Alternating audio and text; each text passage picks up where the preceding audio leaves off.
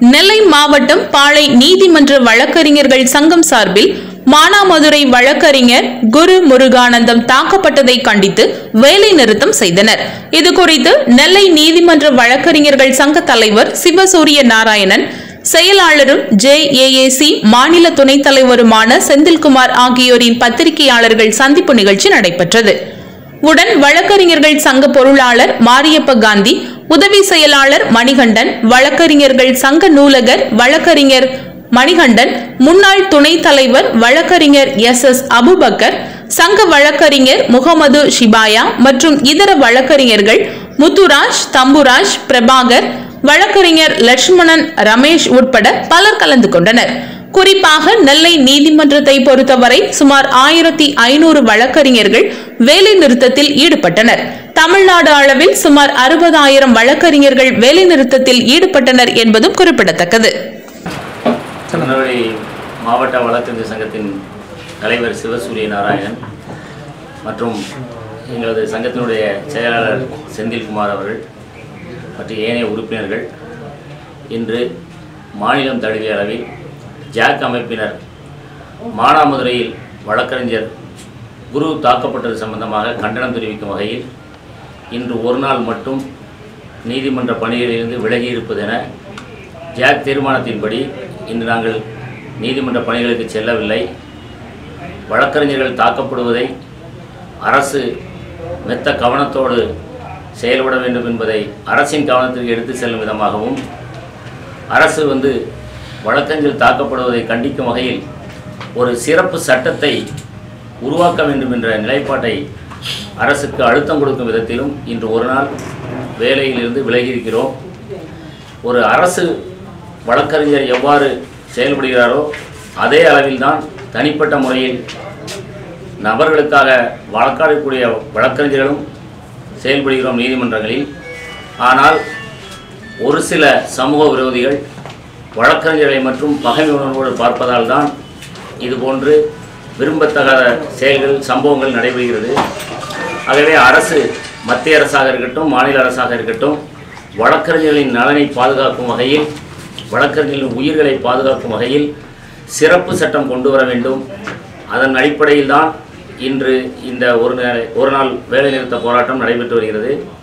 அரசின் கவனம் இதில் அதிகமாக எடுக்கப்பட்டு விடாவிட்டால் தமிழகம் முழுவதும் வழக்கறிஞர்கள் ஒன்று கூடி அடுத்த கட்ட போராட்டத்திற்கு தயாராவார்கள் என்பதை தெரிவித்துக் கொள்கிறோம்.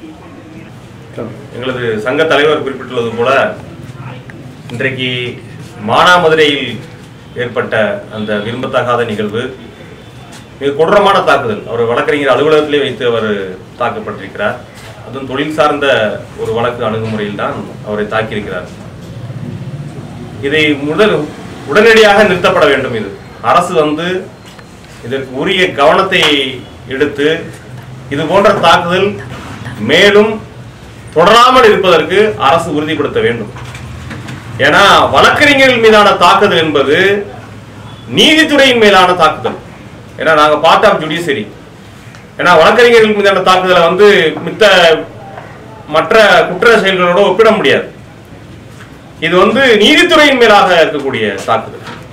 அதனால இது வந்து மிக மிக முக்கியத்துவம் கவனத்தை எடுக்கணும். எங்க தலைவர் அவர்கள் சொன்னது போல ஒரு சிறப்பு சட்டம் இயற்றப்பட வேண்டும். ஏன்னா நாடு முழுமைக்கு இது போல இதுக்கான கோரிக்கைகள் இருக்கு. வலிமையான கோரிக்கைகள் இருக்கு. அந்த சட்டம் வந்து வழக்கறிஞர்கள் தாக்கப்படுவதை தடுப்பது மட்டுமல்லாமல் இது நீதித்துறையுடைய சுதந்திரமான செயல்பாடையும் காக்கும் விதமாக அந்த சட்டம் இருக்கணும். அந்த சட்டம் வந்து அந்த வழக்கை விரைந்து முடிப்பதாக வழிகாட்டுகிற வகையில் அந்த சட்டம் இருக்கணும். ஏன்னா இன்றைக்கு வந்து ஒரு ஜனநாயக நாட்டில் ஒரு நீதித்துறையில வழக்கறிஞருடைய பங்களிப்பு ஒரு அச்சுறுத்தலுக்கு உள்ளாக்கப்பட்டா அது நேரடியாக நீதித்துறையை அச்சுறுத்தலுக்கு சமம். அது வந்து அதோட பாதிப்பு எங்கடா போகும்னா வெகுஜன மக்களுக்கு தான் போகும். அந்த வெகுஜன மக்கள் தொடர்ச்சியாக இது ஒரு சங்கினி இணைப்பு போல இருக்கும். வெகுஜன மக்கள் வந்து நாளைக்கு வக்கீலே தாக்கப்படுறாங்கும் போது அது போன்ற ரவுடிகளுக்கும் சமூக விரோதிகளுக்கும் அவங்கள பார்த்து அச்சுறுத்த அச்சப்படக்கூடிய சூழல் ஏற்படும். அவங்களுக்கு எதிராக வழக்கு தொடுக்கக்கூடிய கூட அச்சப்படுற சூழல் ஏற்படும். அதனால இது வந்து அரசு விரைந்து இதுல கவனம் எடுக்கணும். இதுல உடனடியாக அந்த குற்றவாளிகள் அவ்வளவும் கைது செய்யப்படணும். நீதிமன்றத்துக்கு முன்னால் நிப்பாட்டப்பட்டு விரைந்து இந்த வழக்கை புலன் விசாரணை முடித்து அவர்களை நீதித்துறை முன்னால வழக்கு வழக்கு மன்றத்தில் நிப்பாட்டணும்.